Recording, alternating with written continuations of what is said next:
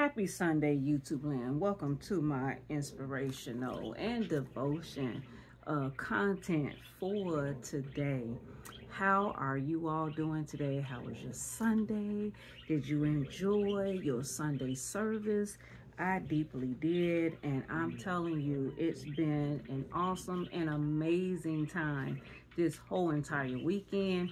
We had our women's, our annual women's service it started uh, last Friday, and then uh, yesterday we had our women's breakfast, and then today we had the big finale. And it was just really, really awesome. So let me know in the comments what kind of Sunday or weekend or both that you all had. So today, I believe I did this topic before, but it's just in my spirit to do it again. And if I haven't done it before, it's still in my spirit to do it. So it's called Peacemakers. Blessed are the peacemakers, for they will be called sons of God. And that little scripture could be found in St. Matthew, the fifth chapter, the ninth verse. There is a lot of trouble in the world. We're subjected to one violent scene after another on our TV screens. Different countries are at war with each other. And so are families, towns, and cultures. Everywhere we look, we see conflict and fighting. And that's not even taking into consideration the normal bad relations between people who once were good friends, but who are now hostile toward each other. When God forgives our sins, we establish a relationship of peace with him. And we learn to live at peace with ourselves. This peace then spills over into our relationships with other people.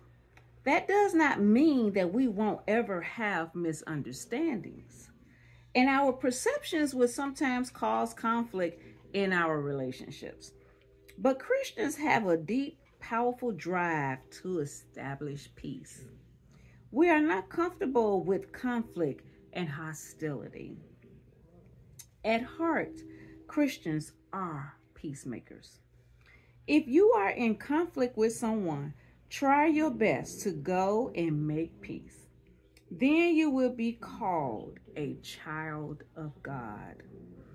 And if I were to reiterate on that, um, Notice the scripture says, if you are in conflict with someone, try your best to go and make peace. Then you will be called a child of God. That hit me so hard recently. Uh, the word if and the next sentence that starts with then. And I have to ask myself, okay, Sheila, who are you in conflict with? What do you need to do in order to be called a child of God? And I did that. I contact this person and uh, we did settle uh, the situation as far as accepting apologies and everything. And so I felt relieved. And before I did that, I was not at peace in my spirit. I wasn't. And I'm grateful that God got all in my sleep and got all in my conscience and got all in my mind because he wants me to be his child. But his word does not go out in void or in vain. His word cuts like a two-edged sword, the Bible says. And because he's a God who cannot lie, we have to be obedient. And the good thing is when God knows your heart and he uh and he talks to you through your conscience, his real children will do something about it. We will be uncomfortable. We will uh, obey him. And that would be the difference between a child of God and somebody who is not a child of God. Um, they may or may not have a conscience when they offend somebody. Um, but a child of God, when you have a conscience, because if you if you do somebody wrong, or if let's say you didn't intentionally do anybody wrong, because I didn't intentionally do anybody wrong, but things just didn't work out, and I needed to uh make peace with this person. At first, I fought I fought that thing, y'all. I'm like, I don't need to make peace. they need to make peace with me. you know, you know how we do it sometimes. But uh the Lord said no. He, he just got all in my sleep, all in my conscience. And this went on for a few days before I gave in. And when I gave in, that burden dropped like a heavy weight. It just fell off of me like a heavy weight. So if I had obeyed God the first night, I wouldn't even had that weight all that time. I'm going somewhere with this, y'all. So in order to be a child of God, there's some things that we have to do. Uh, we we're not just a child of God just because we want to be a child of God. We're child of God when we obey what our Father tell us to do. You know, um, God is our spiritual father. He's our creator. He's he's our number one. Our spirit man knew God before we knew our parents, before we knew each other. So yeah, our spirit wants to obey God. But our flesh, that's what we battle because the devil, he has domain over the earth. So because he's the prince of the of the world and the air and all this type of stuff, our flesh is in battle from the day we're born to the day we die.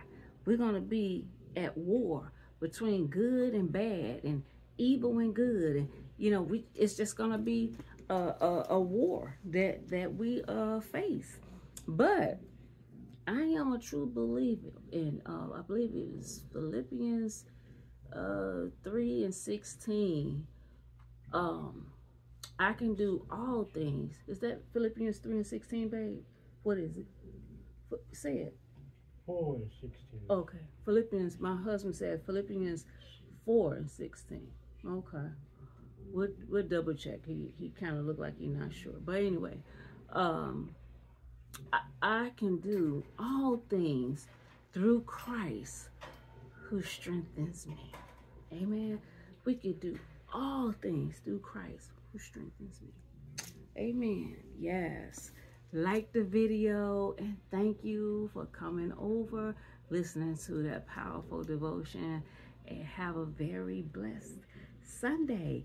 And in case I didn't say it, um, we wore purple, uh, shades of purple uh, for Women's Day. And I actually uh, did a little extra. I wore my, my lavender and uh, shades of purple from Friday, uh, even for the prayer breakfast uh, that was yesterday, including today being the grand finale. I just got really into it all three days, wearing my lavender and purple, and I enjoyed it. And um, and purple is a beautiful color, and it's also a symbol of royalty.